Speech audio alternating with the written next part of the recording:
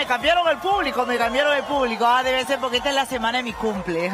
Ay, gracias, qué amorosos que son. Ay, es el cumple de la Natalie Hulka hoy día. Dice que te vamos a regalar, le vamos a regalar un DJ envuelto. Papel de regalo.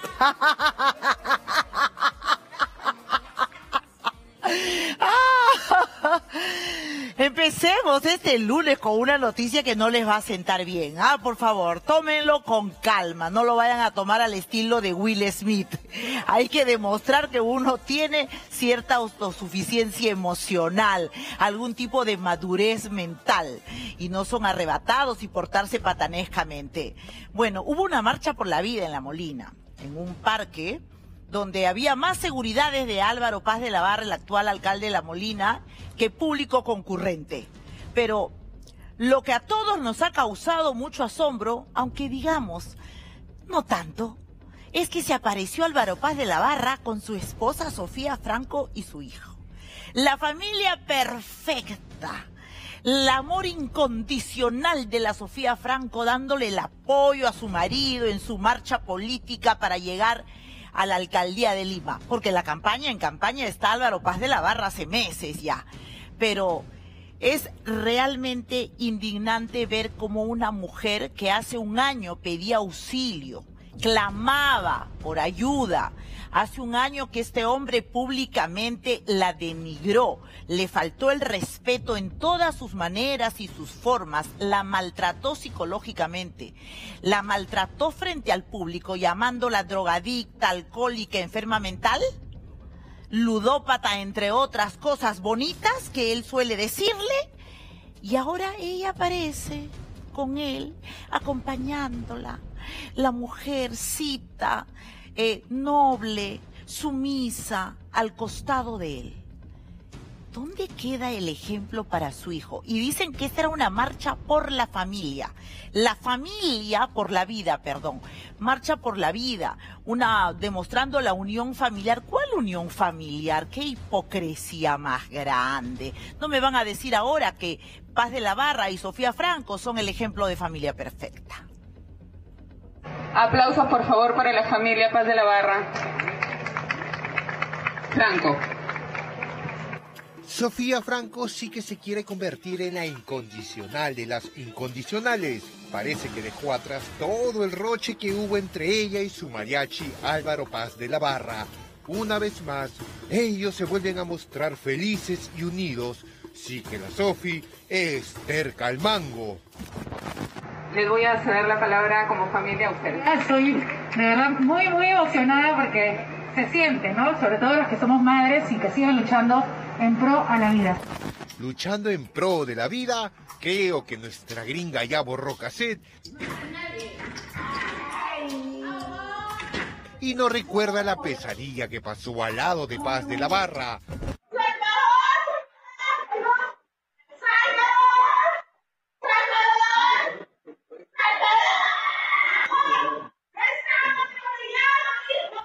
Esta denuncia que he hecho yo contra ella, que espero que para ella sea algo reflexivo.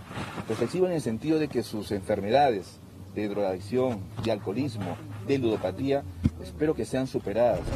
Sí que la Sofi sabe voltear páginas en una. Ellos llegaron juntos a un evento en La Molina, mamá, papá e hijo, todos unidos como la familia feliz. ¿Será que Alvarito está aprovechando la presencia de la Franco para su campaña municipal? Para saludarlo. Muy bien, acá se acerca, acá se acerca Álvaro, Álvaro, Álvaro, Álvaro se ¡Vamos, Mejor sigamos con la familia feliz.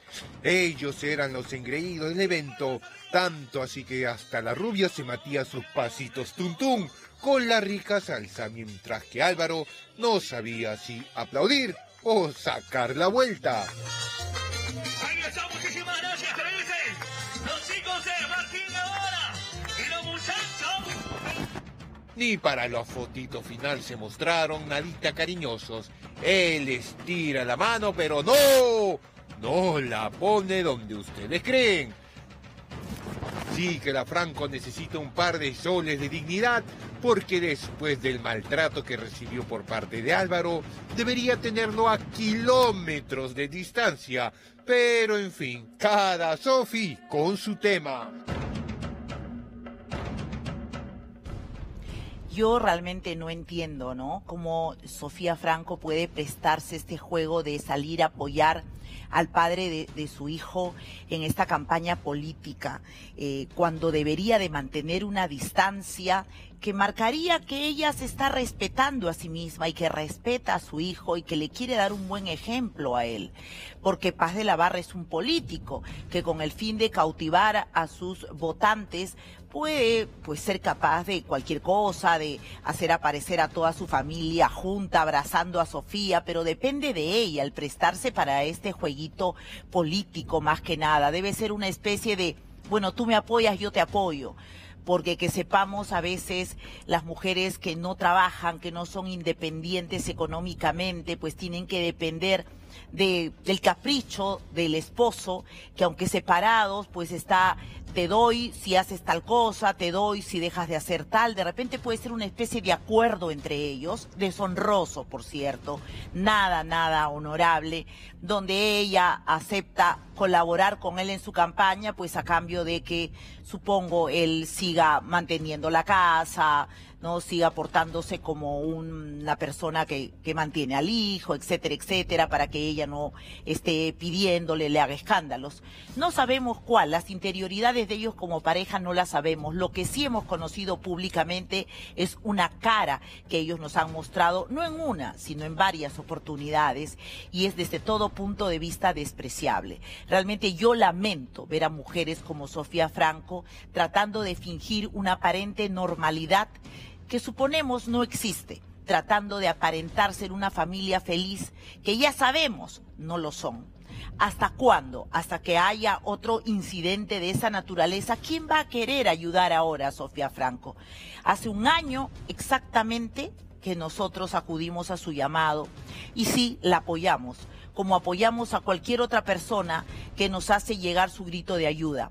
Pero esto no le hace daño, no le hace, perdón, bien a ninguna causa que, va en la lucha eh, contra la violencia contra la mujer. No, no nos hace, no nos hace ningún bien, no nos hace ningún bien y yo creo que ahí Sofía queda mal.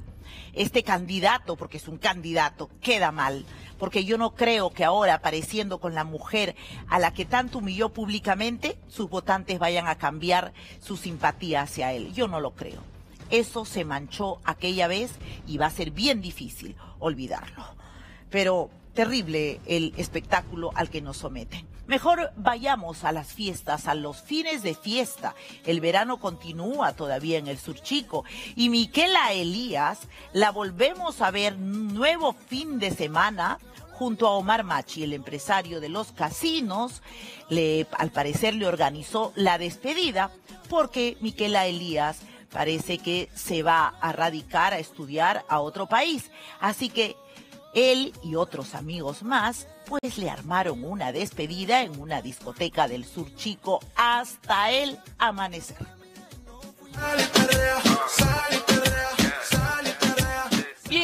Que no hay primera sin segunda. Esta vez volvimos a ver al rey de los casinos junto a Miquela Elías en una disco ficha en Punta Hermosa, donde la excombatiente celebró su despedida. Aunque las malas lenguas dicen que el que le hizo la noche fue el pelado cuarentón. El sábado Miquel anunciaba en sus redes que armaría una fiesta de rompe y raja. Bueno, ahí no podía faltar su partner Macarena Vélez, llegando ambas a la disco Floripa y Punta Hermosa a la una y media de la madrugada del domingo, junto al seguridad de Machi, encargado al parecer de las misiones de amor de su jefe, para que diez minutos después hiciera su aparición el Señor de la Noche. El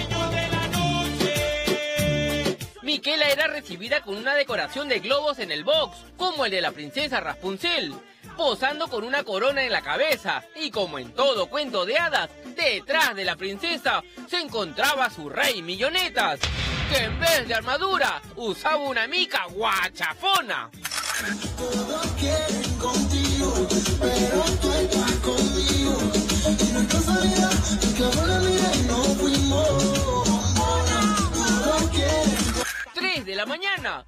Natalia y Austin Palau caían a la disco, al igual que Renzo Costa. Pero la fiesta parecía estar recontrabuena, porque a las 5 de la mañana ya había un soldado caído de la mancha de Machi, quien era trasladado a los carros para que se le pase la huasca. El gringo ya había salido, ya eran las 8 de la mañana. Los globos de Rapunzel colocados en la puerta principal nos anunciaban la salida de los últimos fiesteros. Primero salieron los invitados menos importantes. La mamacita de Yamila Dajabre hacía su salida al lado de este espécimen raro. Y cinco minutos después, Miquela se le ve bien resguardada en uno de los Porsche Cayenne del rey de los casinos, que al ratito nomás dejaba ver su pelada. La coronita duró siempre. La pasé increíble hoy. Gracias a los que compartieron hoy conmigo. Miquel así que se despide bien del Lima Limón, haciendo las maletas para empezar sus estudios en España, viviendo sus últimos días en Perusalén al máximo, junto a Omar Machi, al que seguro lo va a extrañar. Bueno, pero ya se va, le estaban haciendo la despedida, o sea, no vamos a ver más fiestecitas como estas, ¿no? Miquel Elías, una chica muy guapa, es excombatiente que tuvo un episodio depresivo que acá ella nos lo comentó en vivo y parece ya recuperada y ahora se va a estudiar porque es una chica joven y tiene todo el derecho del mundo a abrirse camino y no necesariamente estar esperanzada en ser figurita de reality, porque de lo contrario cómo es que terminan, después cuando ya se acabe la vida televisiva, a qué se dedican.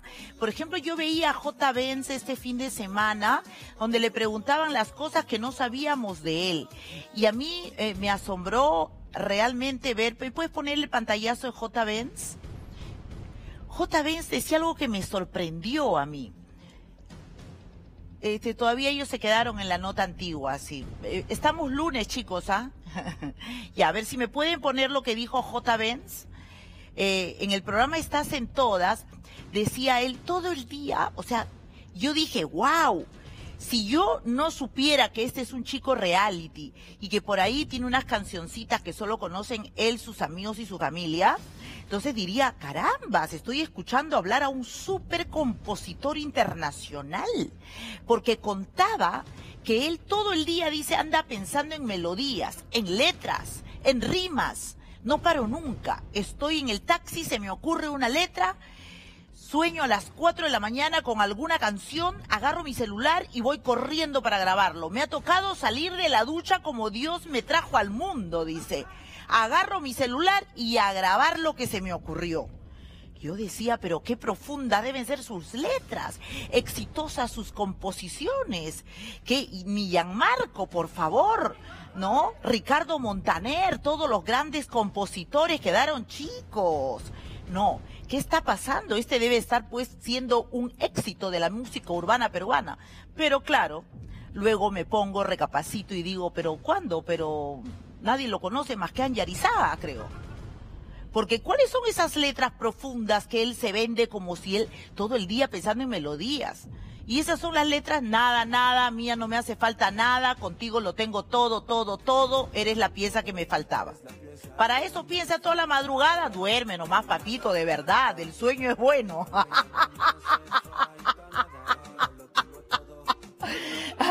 Pero ¿dónde está la profundidad de su letra? Para eso dice que sale desnudo de la ducha para coger el celular y grabar.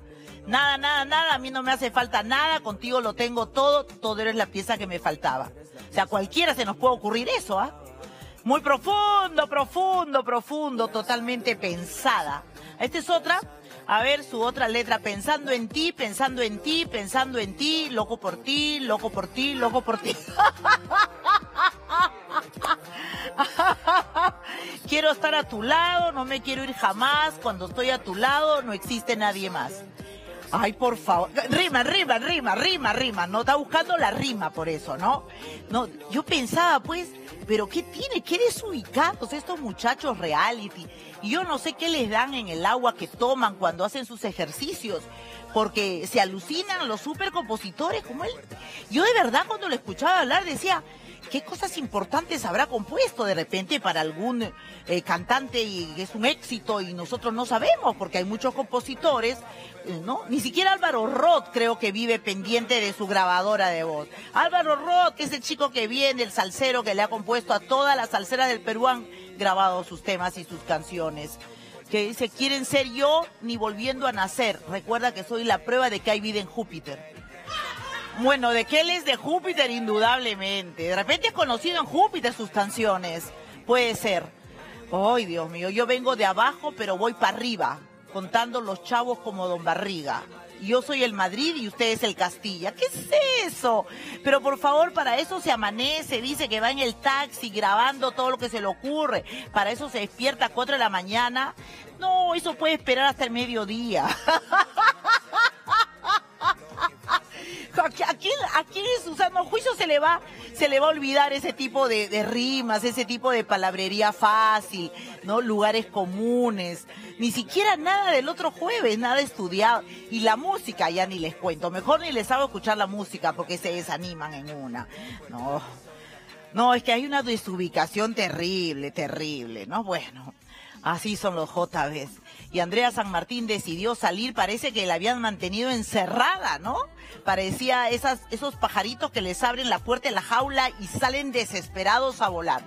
Andrea San Martín salió con eh, eh, Sebastián Lizarzaburú a bailar, se puso el traje más escotado que encontró en el closet y se puso a bailar haciendo el challenge de Anita, pero eso no fue suficiente, sino que también ella en un momento parece que se olvidó y el que la, le daba de palmadas era Sebastián Lizarzaburú, ¿no? Bueno, estaban en su box, pero como ahora la gente se graba todo, hasta las borracheras, ahí está, y todo lo suben a las redes sociales. En un momento ellos pensaron, creo, Andrea y Sebastián Lizarzaburú pensaron que estaban solos, tal vez pensaron que estaban en su habitación, al punto que eh, Sebastián agarró un shot de tequila, se lo puso en, en el abdomen, ¿no? Yo creo que ellos pensaron que ya estaban solos, que se habían ido todos, que estaban en su cuarto de su casa o de un hotel y ella comenzó a lamer el, tequila que él se había puesto en el abdomen. O sea, eso es apto para un dormitorio. No sé si para una discoteca. ¡Qué descalabro ese día! Estos, estos dos que están cansados de criar hijos, están muy encerrados y salieron a desahogar todo su estrés en esta fiesta. ¿Por qué mejor no lo hacen en privado, no? Después cuando rajan de ella y de él, se ponen como locos. Pero claro, tienen derecho a divertirse. Pero un poco más de moderación. Mírala pues la otra ya. Ah, y también le dedicaba canciones de amor a Noel. Bueno, pobre. La gente de verdad cuando toma hace... No, sí, estaba locaza, locaza, la Andrea San Martín. Bueno, es la diversión del fin de semana. La gente parece que en pandemia, ahora que ya ya las discotecas por lo menos funcionan porque funcionan, por si nadie se ha enterado, todo el mundo va a sus fiestas, todo el mundo hace reuniones, ¿no? Y ella dedicándole una canción a Anuel, teniendo a su Anuel al costado. Cosas del fin de semana. Y Pamela Franco estuvo hoy día en boca de todos, con ánimo conciliador, sin querer ya que esto, estas declaraciones de Cristian Domínguez y alguna de sus ex, eh, siga en la telenovela cotidiana que ha sido en estos días. Ella trató de ponerle paños fríos a las declaraciones de Cristian Domínguez, aunque mostró cierto eh, malestar, eh, porque dijo que pues ella le hubiera aconsejado que no hable de temas pasados.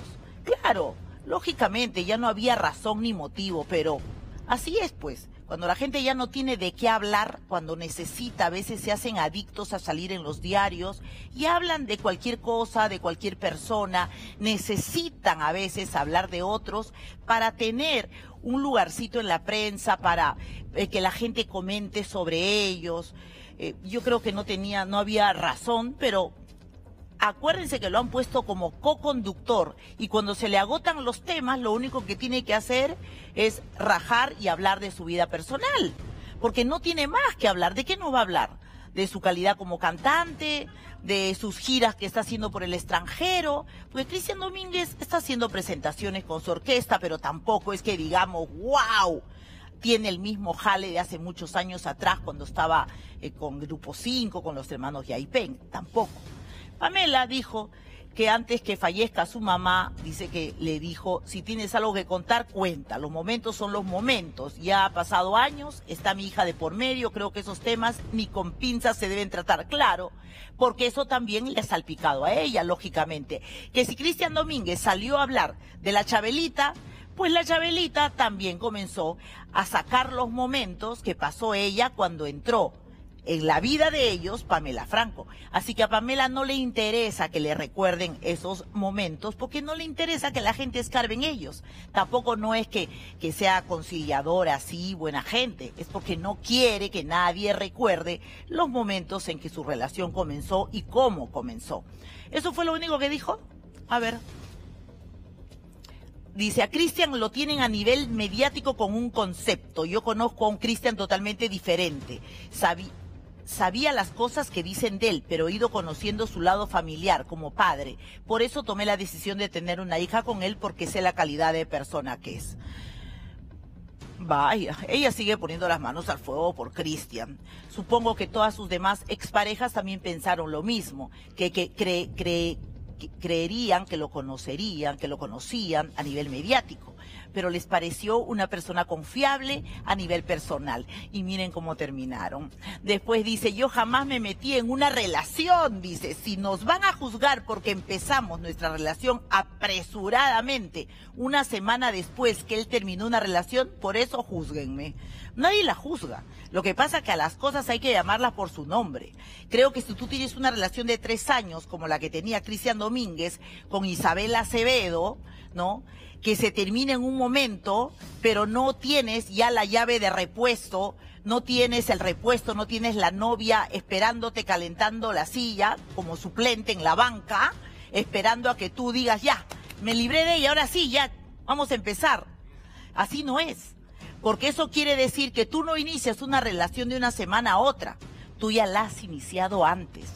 Los coqueteos, ese flirteo ya se empezó antes. Y se empezó mientras él tenía pareja. Como él ha empezado todas sus relaciones desde que lo conocemos públicamente.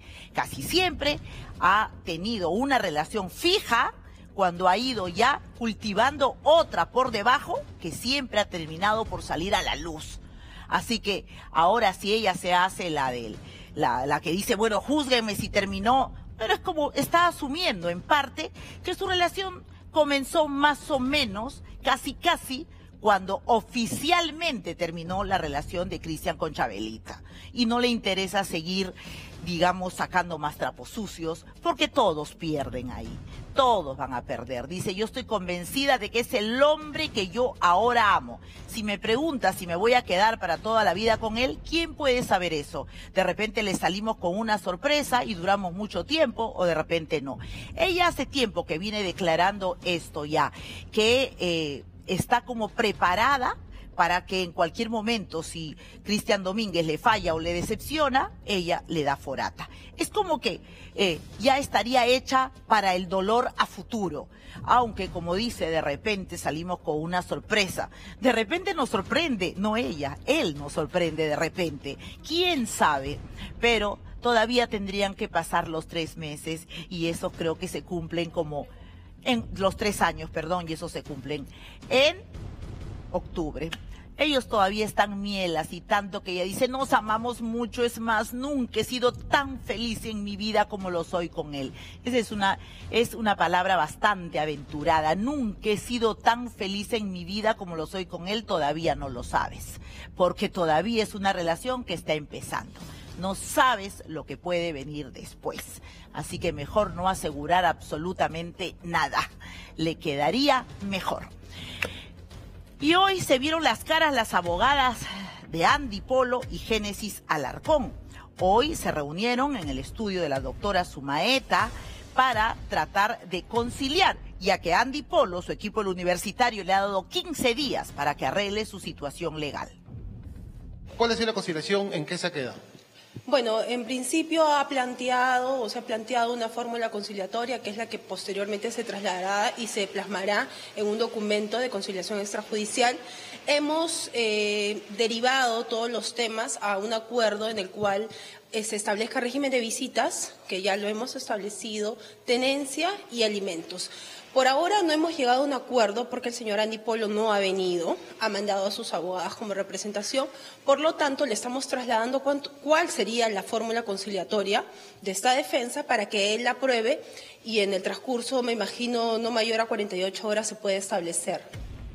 Bueno, ojalá que la abogada... Eh de, Génesis Alarcón, Claudia Sumaeta, sea bastante detallista en el arreglo que vayan a hacer. Esta conciliación que lo están obligando a él, el equipo lo está obligando a hacer, va a ser una conciliación que sin duda alguna va a durar varios años. Así que tienen que preverse todas las circunstancias, el lugar donde ella vive, quién lo va a pagar, le va a comprar él una casa, le va a dar un carro, va a pagar el seguro de los niños, eh, cuánto le va a dar mensualmente, no que la va a mandar a comprar al supermercado o al mercado acompañada de alguien mandando su tarjeta de crédito. Todo eso tiene que ponerse en una conciliación para que esta chica comience a hacer una vida normal, una vida de ella como madre a cargo de sus hijos, sin tener que pedirle nada a nadie. Considérese que ella ahorita si tiene un techo donde vivir y tiene una mensualidad es porque personas caritativas se lo han dado, no el padre de sus hijos sino personas que nada tienen que ver con ella, como es la eh, Yosetti y Génesis Hurtado y Andrés Hurtado Chibolín. No hay más. Estas niñas, estas, esos niños viven ahorita de el buen corazón de otras personas.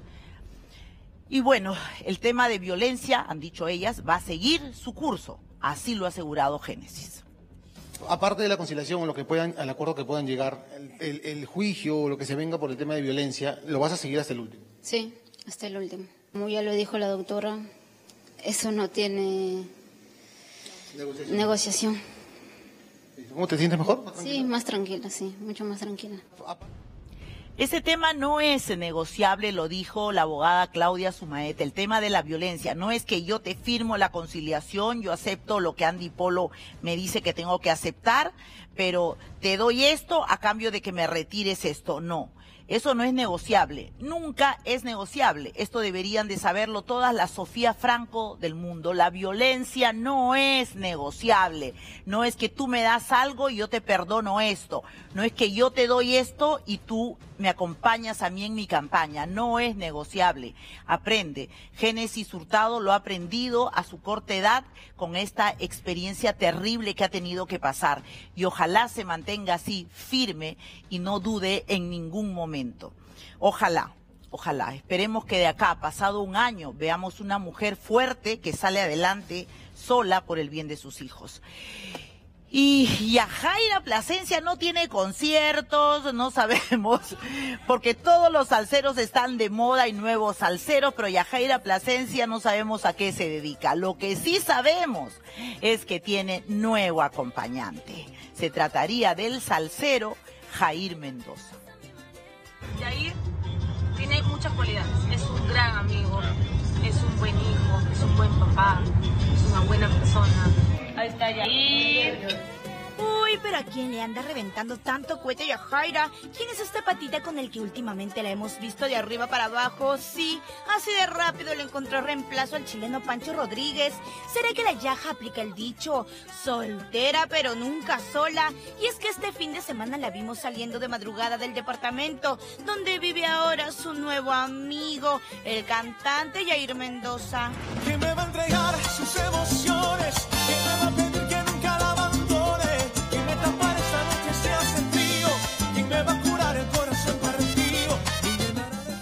dejar sana y salva la salsera a su casa en San Borja, quien se baja muy coqueta, uy, yaja. Pero ¿qué dirá doña Coca? Una señorita como tú no puede estar llegando esa hora a su casa, ¿no? Aunque este patita sería el nuevo consentido de la familia Plasencia. Hemos hecho muy buena amistad con Yair en poquísimo tiempo, pero Yair es de nuestro, de nuestro bando. Rápido hizo migas la Yaja. Y la hermana, ah, bueno, ellas siempre están todas. ¿Se acuerdan cómo era con Coto Hernández? Donde estaba Coto estaba la hermana. Y esta vez no es la excepción. Silvana también es amiga del cantante. Qué casualidad, ¿no? Hacer conmigo lo que quieras. La hermana siempre hecha perona, ay, de buena gente. Pero ¿quién es este chico que ahora lleva y trae a la salsera? Hasta parece su fercho personal. Ha participado en concursos de canto y parece que le encanta y le fascina rodearse de la gente de Chollywood, ya que estuvo bien cerca a Dalia Durán e incluso la contrató para un videoclip.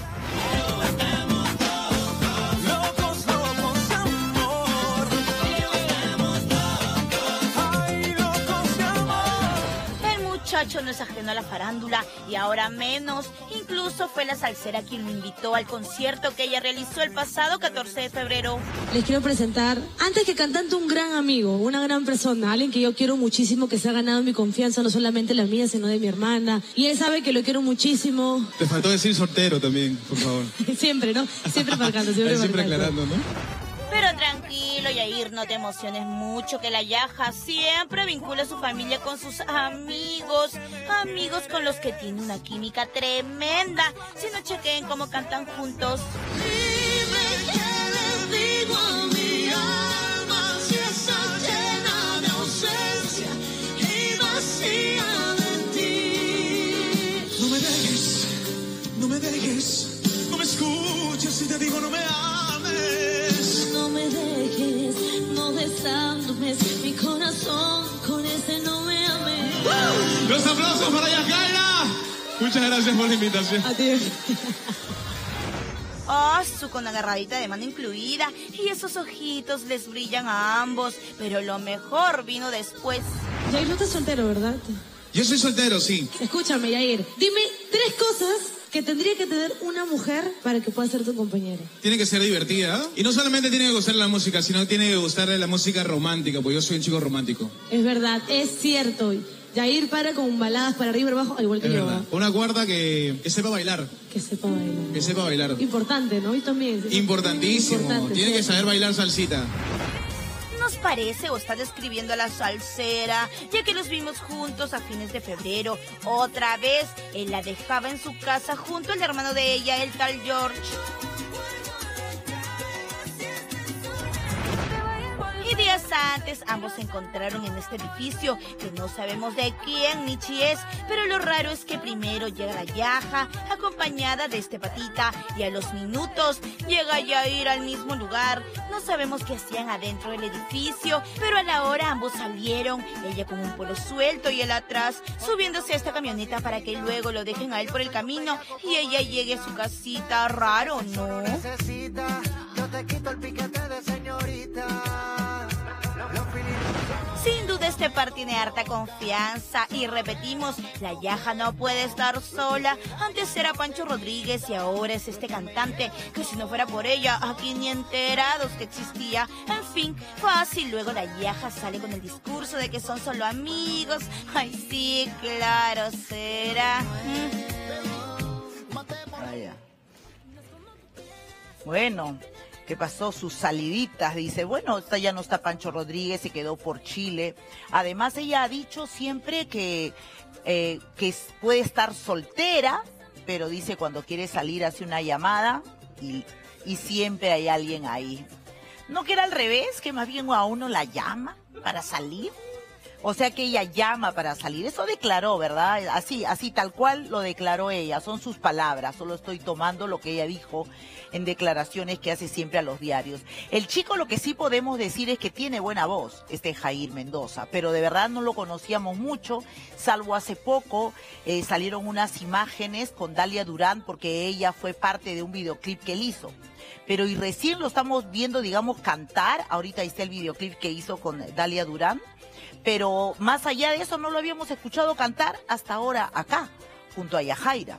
Y bueno, Yajaira seguramente que si le preguntamos va a decir, es mi amigo, por, a ella todo, es mi amigo y lo quiero mucho, porque ella así decía de Coto, así decía de, de Pancho Rodríguez, ¿ves?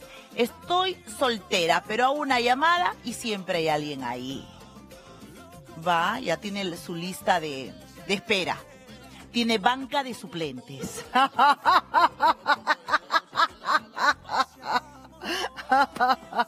Seguramente que lo mismo dirán algunos de ellas, ¿no?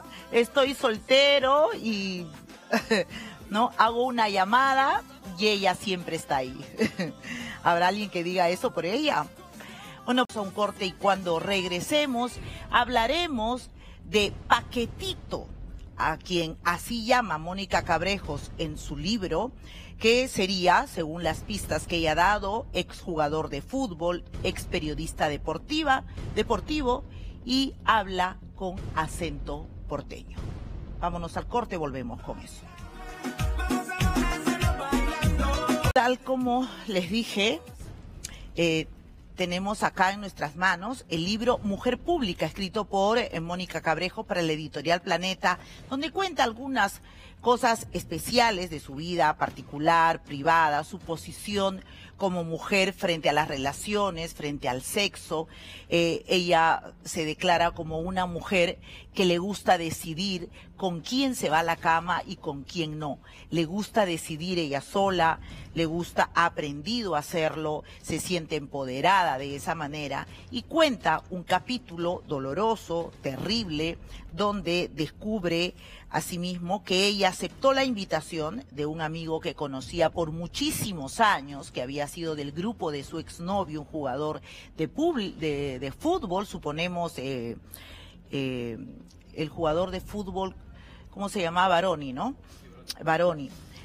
Eh, ella se va a la playa con él, ¿no? Y aparentemente ella dice no acordarse de nada, amaneció desnuda en su cuarto, y eh, le preguntó a él qué había pasado, él le dijo que nada, pero cuando volvió a ver las zapatillas de él, la ropa de él tiradas al costado de la cama donde ella había dormido, él, ella le insistió y él le reconoció que tuvieron sexo.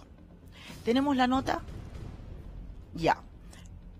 Vamos primero antes de, dar, de hablar sobre este capítulo doloroso que ha contado eh, Mónica Cabrejos y que muchos están cuestionando desde todo punto de vista, como siempre se hace, siempre revictimizando a las víctimas, ¿no? Eh, diciendo por qué se fue sola, eh, se sobreentiende que si te vas a quedar a una playa con un tipo y vas a besarte con él, entonces se sobreentiende que también tienes que acostarte con él. Pero no siempre entiendan que una mujer puede decir no hasta el último momento. Vamos a ver la nota. Me desperté desnuda en posición opuesta a la cabecera de la cama y en el borde lo primero que vi al bajar fueron las sandalias y el short de quien me había invitado a esa casa de playa. Creo que en el Perú violar mujeres es lo más fácil que puede existir, es lo más asequible lo más barato. Probar, comprobar una violación para una mujer adulta es lo más difícil. O sea, no basta con que yo lo diga. Mónica Cabrejos ha decidido liberar los más aterradores recuerdos que oprimían su alma en su reciente libro, Mujer Pública. Esos momentos desgarradores e íntimos que la ex vedette hace público y que habrían sucedido el año pasado, el día de su cumpleaños. Me invitó eh, una persona a la que yo conozco hace más de probablemente 24 años, que era amigo de un ex enamorado mío, vamos a una casa en Asia y yo obviamente como una mujer adulta lo primero que le dije fue, o sea, tienes que saber que el aceptarte la invitación no es sinónimo de que voy a aceptar acosarme contigo. Según los pasajes del libro, concuerdan con lo que ella subía en sus redes sociales. En su libro, detalla todo lo que pasó esa noche de verano en el balneario de Asia. Subimos a disfrutar de las primeras horas de sol de la tarde en la piscina ubicada en el segundo nivel de la casa. Tomamos sol, nadamos, escuchamos música y bebimos una botella de vino rosé que yo misma compré.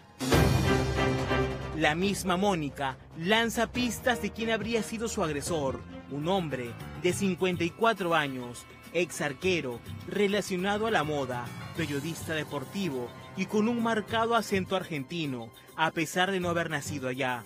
Incluso ella lanza lo que sería su apodo.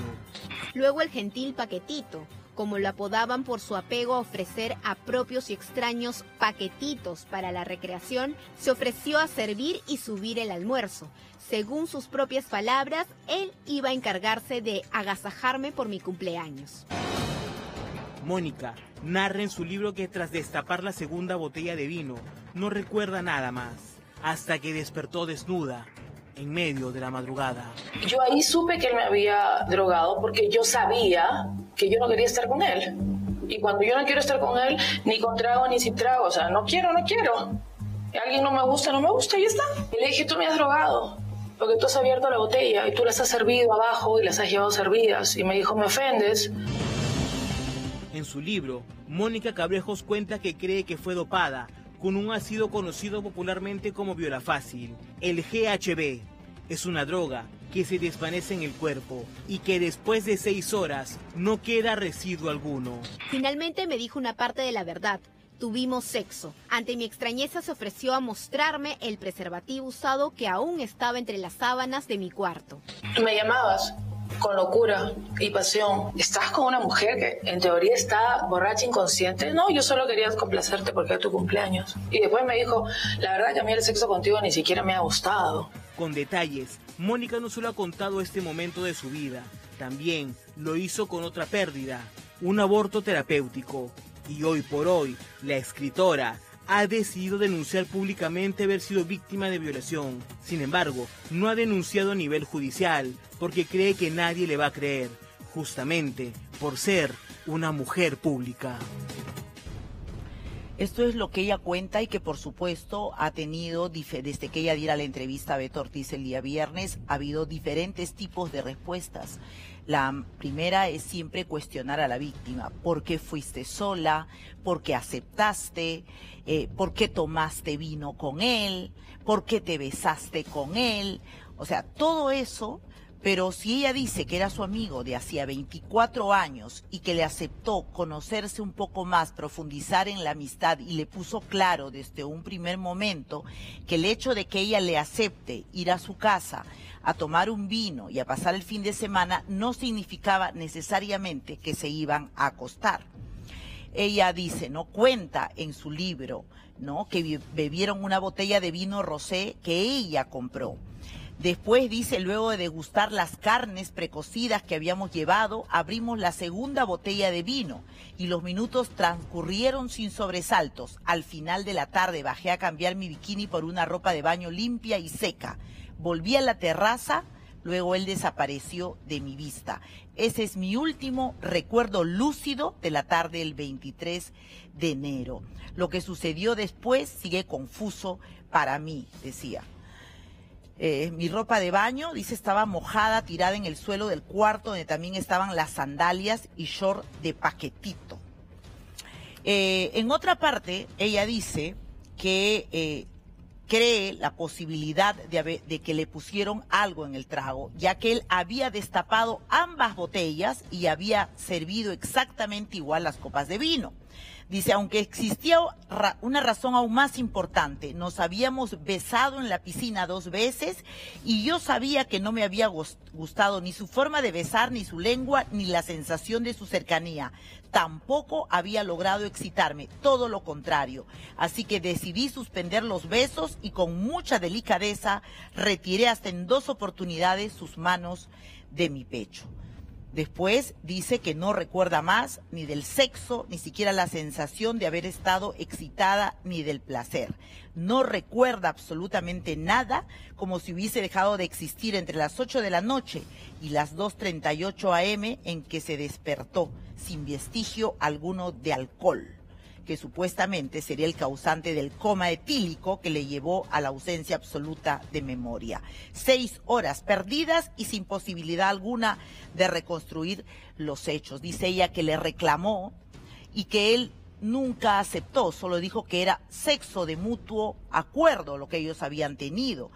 Eh, dice que Paquetito, así llama ella a su agresor, Paquetito, su actitud amable, paciente y divertida fue transformándose en iracuna, despectiva y matonesca.